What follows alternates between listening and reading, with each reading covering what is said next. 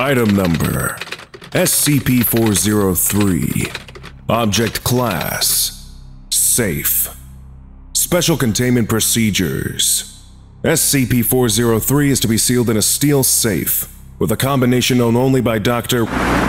The walls of the safe must be reinforced with fire retardant material, complying with Foundation Standard C3 403. The safe will remain under surveillance by two armed guards at all times. Description SCP-403 is a visually unremarkable naphtha-fueled lighter that was discovered in a cafeteria at site when lit once after a prolonged period of disuse. SCP-403 produces an ordinary flame.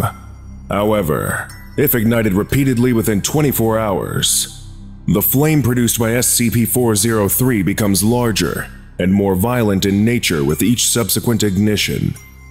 During an experiment, a Class D test subject attempted to light SCP-403 a third time within two hours, resulting in a powerful explosion of superheated gas and plasma. This event destroyed the monitoring equipment within the testing cell and caused significant damage to the flame-resistant plating lining the walls. Despite this, the subject and the item itself remained virtually unharmed.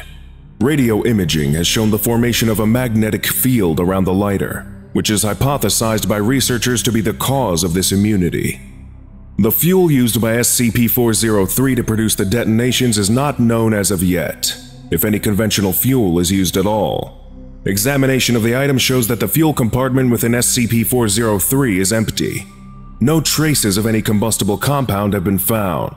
Considering this, and the amount of energy initiations are capable of producing. SCP-403 should be currently treated as if using a functionally inexhaustible power supply. Tests to ascertain the exact nature of this power source are ongoing.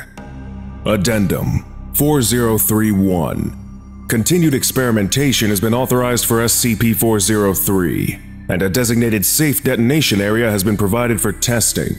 After the third ignition, a Class D personnel attempted a fourth, which caused an explosion that initially appeared to be a thermonuclear blast. Evaluation of the explosion has demonstrated that it was of equivalent magnitude to 10 megatons of TNT, far exceeding the yield of most strategic nuclear weapons. This yield was also far greater than extrapolations based on past tests seem to suggest. Further studies of recorded data seem to show that the event was actually caused by the release of data expunged, stellar material. No abnormal lasting effects from the explosion were observed, apart from the devastation wreaked by the initial blast.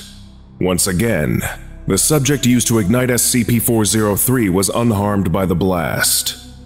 Addendum 4032 All further tests have been suspended due to the extreme danger presented by the high-energy detonations SCP-403 is capable of producing. As it seems the power of SCP-403 increases exponentially, a fifth ignition could result in an event comparable to data expunged. A blast of this magnitude could devastate vast portions of the continent and present a severe risk of breaching the containment of several Foundation sites, including Lesson complete.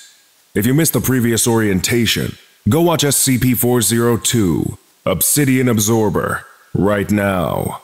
Or for the complete course, watch this playlist.